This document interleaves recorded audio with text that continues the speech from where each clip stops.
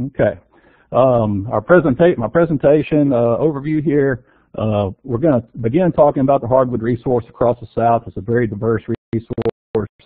Um, we certainly can't cover every hardwood uh, forest type across the Southeast in one presentation, but uh, we'll, we'll uh, definitely uh, talk about those from a, from a broad sense. I want to hit on some factors that impact hardwood management. Uh, there, there, are several factors that can impact your ability to properly manage your hardwood forest, and I certainly want to hit on those. One of the, the real key concepts I, I want everyone to leave with tonight is the idea of conducting a hardwood stand evaluation. So what I want to have ha occur is, is when you leave, I want you to be able to walk into your woodland in your region and ask a series of questions about your stand to help you better uh, understand what you have um, and to help you make a decision on what direction your management needs to go in a hardwood stand. That can be a very difficult question for even experienced hardwood foresters. Another uh, set of, of uh, tools I want to give you, uh, I have uh, throughout the presentation. Uh, some of these are websites, some of these are publications, but there's quite a few decision support tools, if you will, that can help you to make decisions in your hardwood stand. And so I want to share some of those with you as we move through. And uh, as, as I already stated, the plan is to look at the forest and not delve into the trees just yet. And so I really want to stand back and talk about how do you uh, evaluate, what, what components are involved with evaluating a hardwood stand and not necessarily get into the trees just yet. I, you know, the old saying, uh, we can't see the forest for the trees, and I want to make sure that that's not the case in, in this presentation. Okay, also, anytime I give a hardwood presentation, I like to put things into perspective. And this is another area where hardwood management diverges from pine management. And that is the reasons why we manage our hardwood forest, the objectives we have for management. And that, that's one of the, the, the, benefits also of managing for hardwoods is that we can do multi-objective management um, in our forest. And so we could manage for timber, we could manage for wildlife, recreation, aesthetics, uh, environmental quality, and I'll walk through these as we move through the presentation. Oftentimes, uh, wildlife is a, is a big objective in, in hardwood uh, forest, uh, but uh, timber is certainly going to be an important aspect regardless of your objective.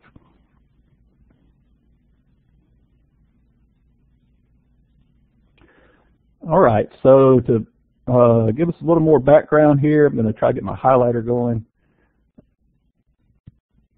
And we get a little thing, handout here. Uh, this obviously is the southeastern United States, and there, there are many different hardwood regions throughout the southeast. And so we obviously are not going to have time to walk through each of those regions. Uh, what I want to point out here, if you look at the areas in light green, uh, going from the uh, Virginias through the Carolinas, westward through um, northern Arkansas. These are our upland hardwood regions across the south, uh, from the Appalachian Highlands to the Cumberland Plateau to the Ozarks. This is typically where our pure upland hardwood stands occur across the south. Um, another uh, item I want to point out is the light blue color, and you see this uh, throughout the coastal plain region here, which is the area in orange, which is primarily loblolly and shortleaf pine forest that David was talking about. But you see these stream zones that run through the coastal plain, and that's where a lot of our bottomland hardwood forests occur uh, in minor streams and rivers. And those are some of the most productive hardwood sites in the United States. And, and so they're really an important resource, but those are bottomland hardwood sites. And then, of course, the, the largest uh, bottomland hardwood region in the southeast is the lower Mississippi alluvial valley.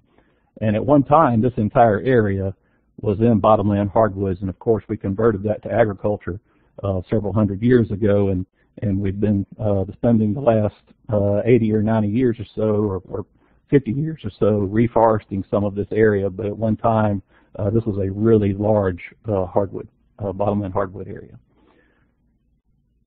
The other uh, quickly, the other uh, aspect to the uh, resource, within the Piedmont and the coastal plain, we do have mixed hardwood and pine stands that are, are pine forest types that occur uh, in a mixed scenario. And there's some interest among landowners in working uh, with uh, this mixed stand components, a little bit lower intensity management, and you'll have uh, some pine and some hardwood uh, mixed together. And, and, there's some interest in doing that type of management, uh, particularly here recently.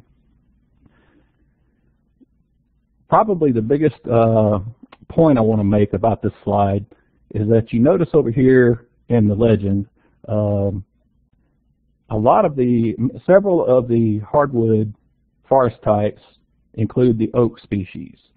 And so what I want to leave this slide with is that oak species are very important to us uh, regardless of the region you're in, whether you're in bottomland hardwoods, upland hardwoods, mixed uh, pine uh, hardwood forest, the oak uh, species group are going to be a very important part or a very important species in your management. Uh, and another concept I want us to leave this slide with is the idea that these forests all across the South, for the most part, are what we call even-aged forests. And so oftentimes we'll walk into a hardwood forest and we'll see trees of stems of different sizes. We may have 18-inch stems, 20-inch stems, and then we also may have 6, 10, and 12-inch stems mixed within those.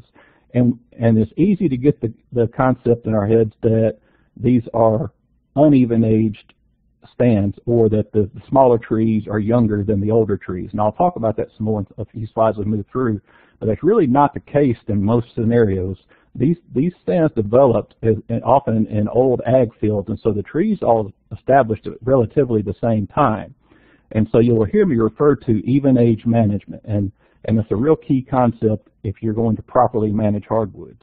Uh, there's some harvest methods uh, that uh, uh taken that have employed uh, the concept of removing some of the larger stems and leaving some of the smaller stems, and that's why we have Dr. Clatterbuck giving his talk in a few minutes about how to manage degraded hardwood stands. And so there's a real risk there in thinking that there's big age differences in the stands when there's really not.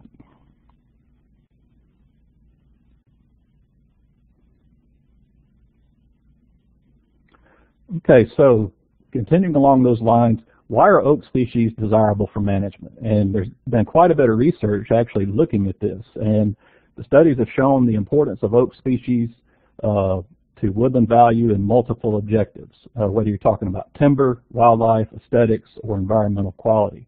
Obviously, from a timber production standpoint, uh, we have high utilization. They're relatively fast growing compared to other species, compared to hickories and other hardwood species. They're relatively fast growing. They're certainly not as fast growing as a pine, uh, the pine species are, but they're relatively fast growing.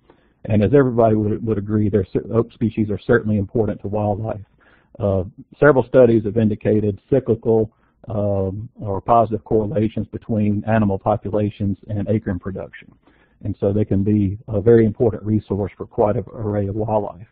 Aesthetics, I have landowners that I work with here in Arkansas uh, that that's the reason that they come ask me questions about how to manage their hardwoods. They they aren't necessarily that interested in the timber objective. They get some revenue out of the stands, that's great, but they want the stands to be aesthetically pleasing to them. And so that's a really important objective and a really important value that we get from a hardwood forest. And then obviously the water and air quality. These are long-lived species. They are large biological systems, so they sequester a lot of carbon, and they're going to store that carbon for a long period of time. Uh, they have large root systems to take up uh, excess nutrients from the soil, and so from a, just from a, a, a, host of, of values that we we can really um, um, uh, obtain through our, our, our, through emphasizing oak management. I'll go ahead and introduce uh, over here on the right uh, some of the resources that I wanted to, to give you, and I, I, believe these are also on the, the website that you can you can look at. Uh, Silvics of North America, Volume 2, and this is the hardwoods. Put out. This is a, a, a website uh, that's that's put in place by the USDA Forest Service, and this is a really great resource. It um, not only gives you information on the species, but it gives you information on the soils and, and that, this, that each species grows on, which is really important in tying species uh, to the site quality in hardwoods. It also gives you information on uh, damaging, in, uh, damaging agents such as insects and disease, just a lot of good information there. The Virginia Tech uh, Dendrology website is a great website to help you identify what species you're dealing, tree species you're dealing with in your stand. And there's also a smart app that goes uh, along with this uh, called VTree, which is a very good uh, app to uh, to take a look at to help you with tree ID. Okay, not only are species important, but tree quality is also important. This is especially true from a timber management objective. As you can see, the tree on the right here, I believe is a southern red oak. You don't see many knots. You don't see many defect, defects. You see a lot of clear wood um, and a good state, straight stem. And so this would be a high quality, uh, healthy, vigorous tree that we would want to manage uh, for health and productivity in our forest. And on the right here is the oak species as well. But again, it doesn't have the quality. You see the knots, the dead limbs. You know, from a from an economic standpoint, there's a huge difference um, between um, the value of these two stems. And there's also a difference between the, the relative health of these stems and the ability to manage for forest health through time. Another factor we must consider is the volume or, or the products we're going to produce. And, and this is a, a really key uh, point that I like to make here. Um, we manage these stands for a long period of time when we're managing hardwood stands. And uh, you know, you could be managing for 50, 60, maybe 70 years or longer in some of these stands. Um, and the, the product that's going to, to, to give us the value uh, to make that, that taking that time to manage these stands worthwhile is, the, is the, to ultimately get to the saw timber product class. And you don't necessarily have to understand uh, the, numbers that are going on here, but this is basically, and this is a, an Arkansas example, but basically the light colored bars represent the vol volume of roundwood that was produced this, this given year, and the gold bars are the value, the, the relative stumpage values uh, of those products. And if you look at the volume to, or the value to volume uh, ratios here for saw timber, we have a, a very good value to volume ratio. Um, with veneer products or specialty products such as white oak stave logs, which there's a lot of interest in this right now, literally throughout the upland region across the south.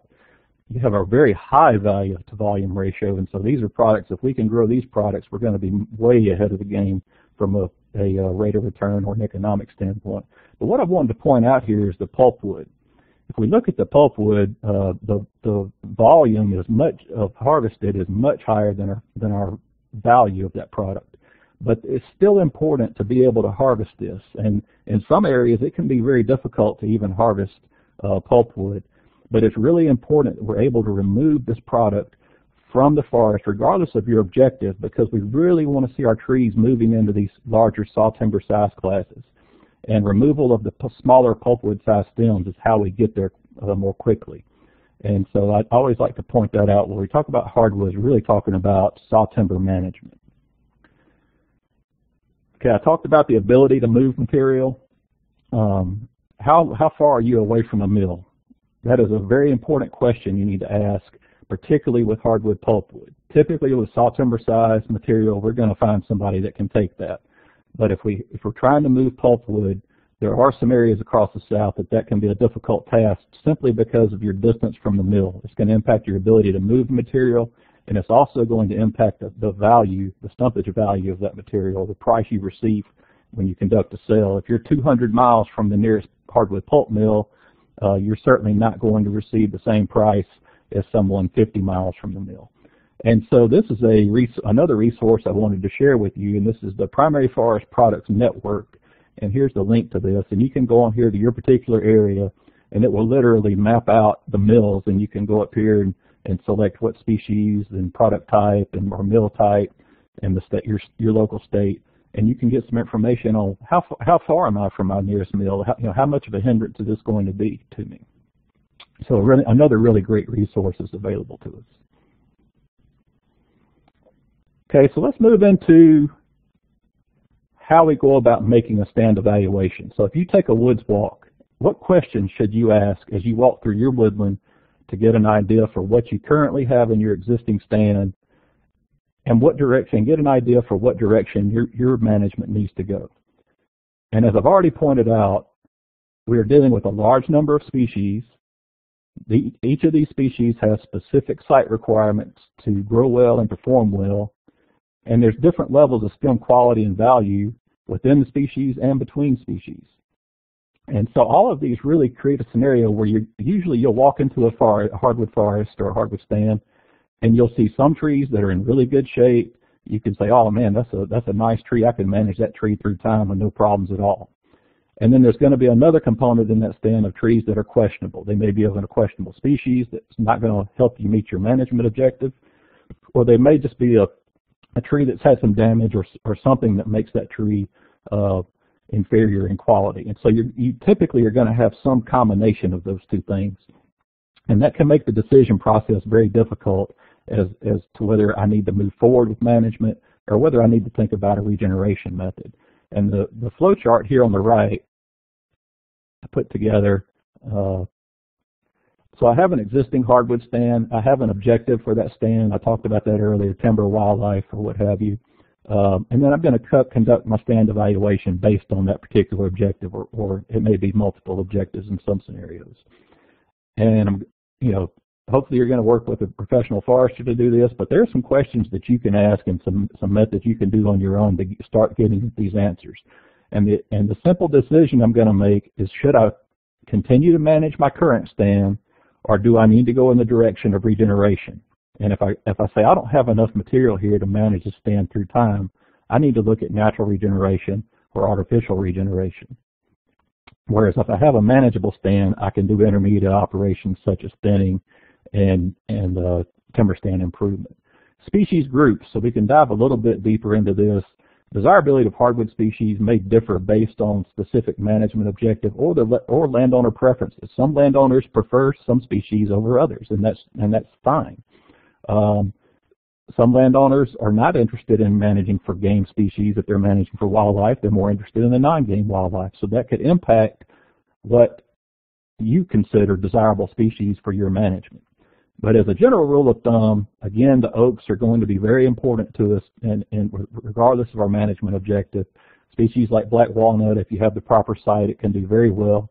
And then we have some species that may or may not, depending on your local markets, may or may not be acceptable species. And then you'll hear us uh, talk about timber stand improvement in hardwoods, and a lot of times we're simply talking about improving our species composition and removing uh, the hickories, the red maple, the elms, and those types of things that oftentimes are unacceptable species to management.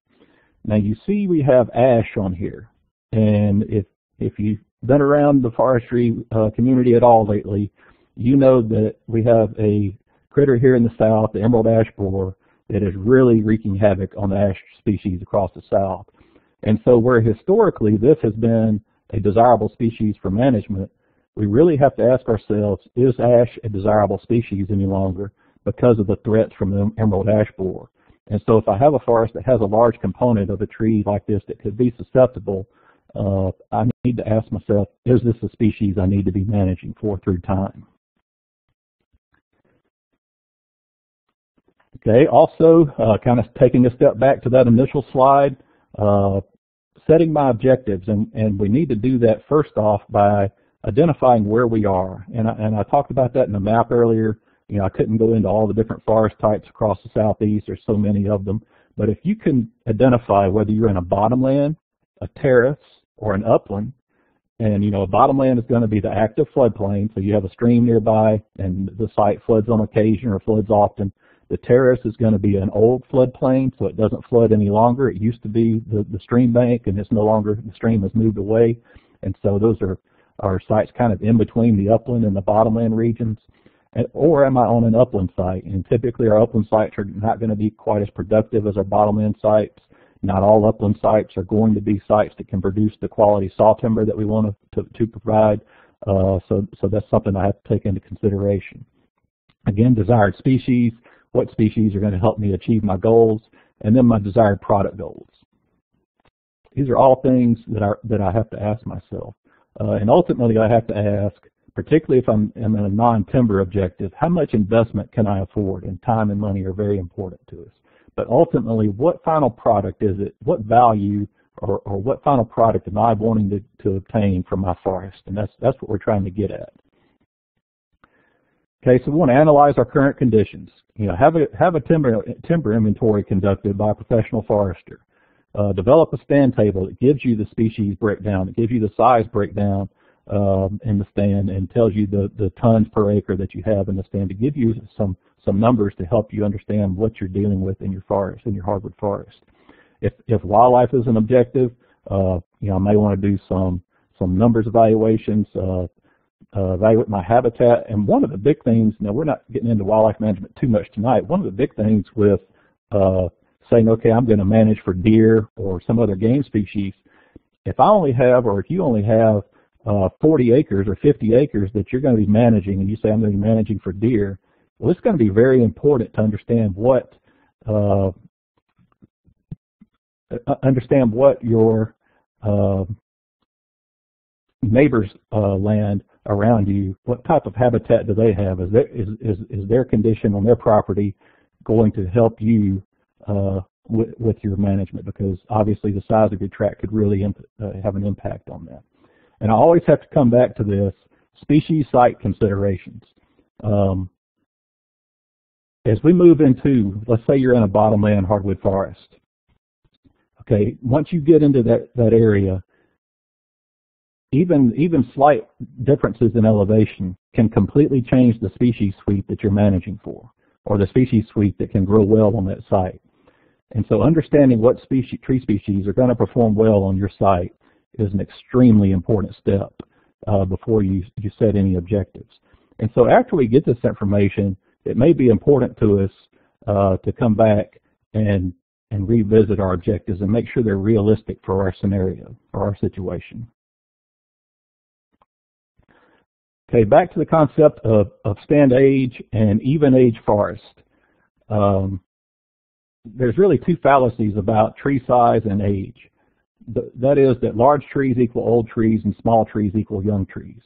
For the most part, hardwood stands across the southeast are even age. And so, as I've stated before, if you see a, a, a tree that is 20, 22 inches and then there's a, another hardwood tree near it, uh, whether it's the same species or a different species that, that's 12 or 14 inches, those trees are probably very close in age. It's just that that larger tree got a, a better competitive position at some point in time uh, earlier in the stand development phase. And it's a, that's a really important concept. And so in an even age stand, you can see here on the right uh, the, the uh, stand the uh, hardwood stand development timeline. And so in the first 10 years, where stand's pretty much going to establish itself, and then basically a long period of time of stand, of stand growth and stem exclusion. And then at some point, 60, 70, 80 years out into the future, the stand's going to mature, and we're going to want to regenerate that stand. It's an even age stand. We're going to want to use a regeneration harvest to start that stand over. And I'm going to come back to this in a, in a, in a moment.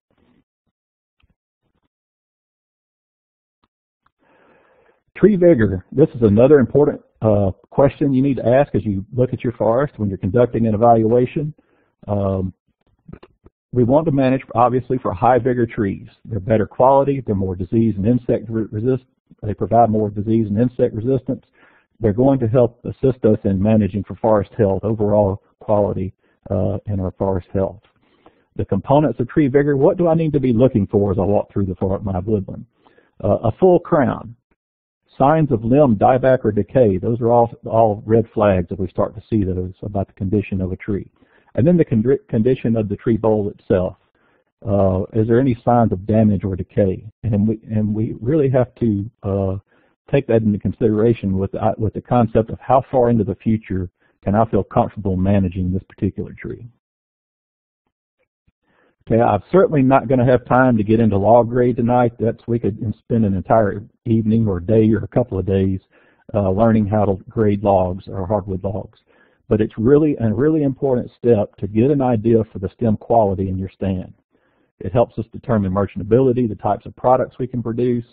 Um, it also helps us determine the, the, the economic value, uh, and we can use that when we're marking a stand for thinning. And of course, the base concept would be to remove the lower grade trees and leave our higher grade or better trees.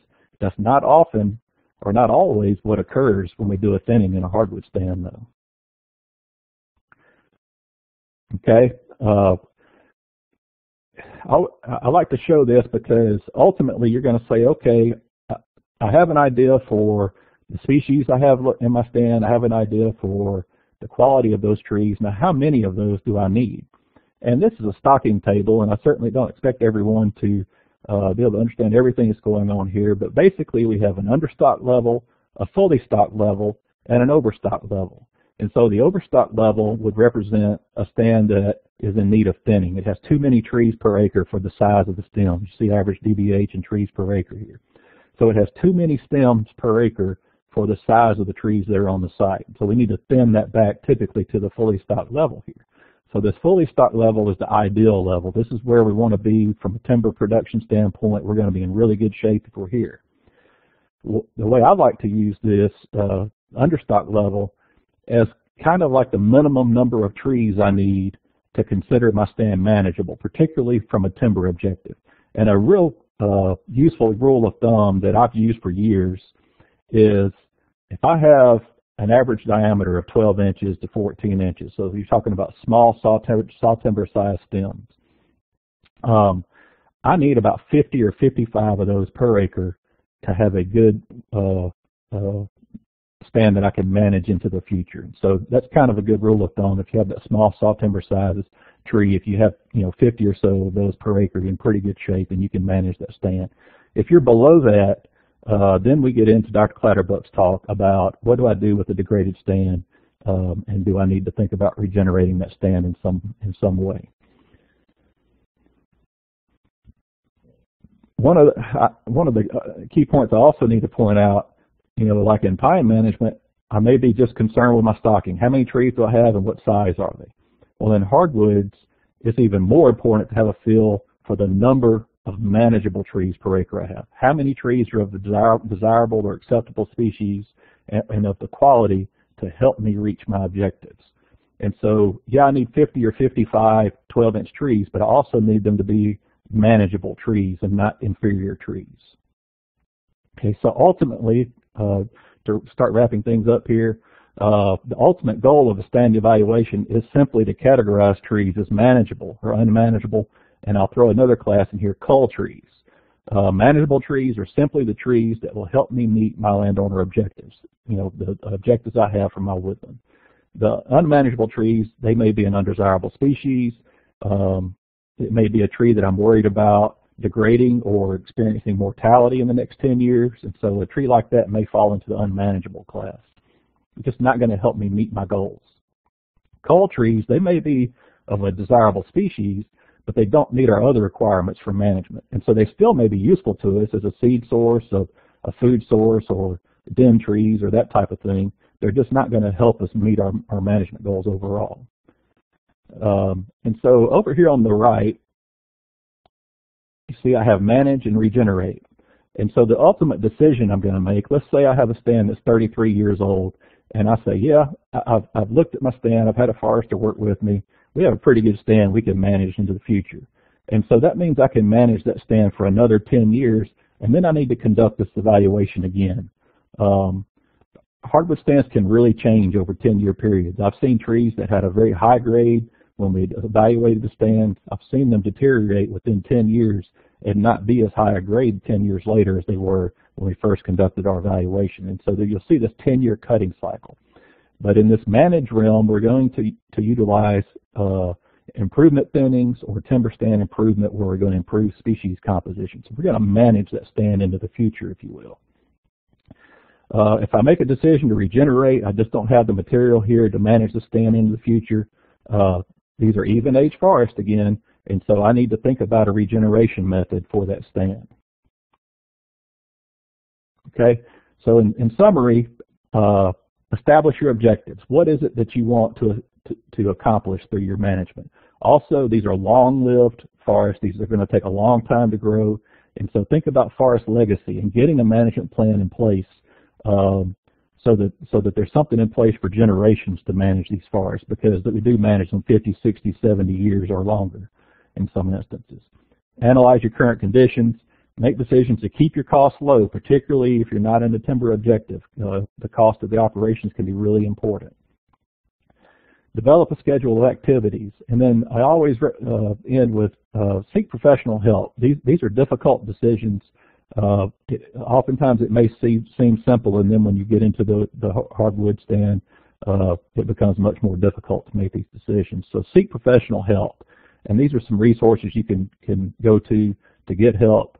Uh, uh, your county extension office, forestry commission, but private consultants that have a hardwood management experience, have hardwood management experience can be invaluable to you to make these decisions.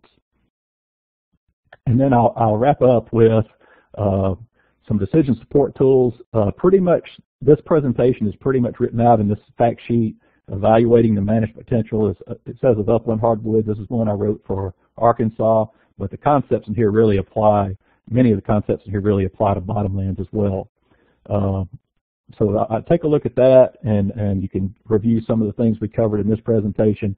The Tree ID web uh, websites and apps. There's uh, soils. There's there's a soils uh, support tools online. If you're going to plant hardwoods uh, in an old field, a lot of times it's really good to go to this the soils website. It's put out by the USGS. Uh, it's called the WGS Soils Mapper.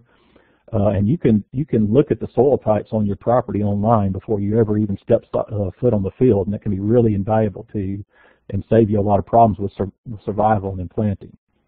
Uh, mapping, uh, landowners can do a lot of their own mapping now to get an idea of where my hardwood woodland occurs on my property, uh, and that's through Google Earth. There's, uh, there's a lot of utility in Google Earth these days. And then timber price reports. Pretty much every state has a timber price report now. I know we do one here in Arkansas, and then there's also regional sources for those.